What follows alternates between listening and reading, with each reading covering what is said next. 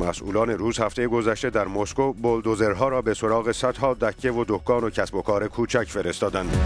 مسئولان روس این اماکن را غیرقانونی و ناامن خوانده و از این رو تقریب آنها را توجیه می کنند اقدامی که بیتردید خشم صاحبان این کسب و کارها و منتقدان را در پی داشته است.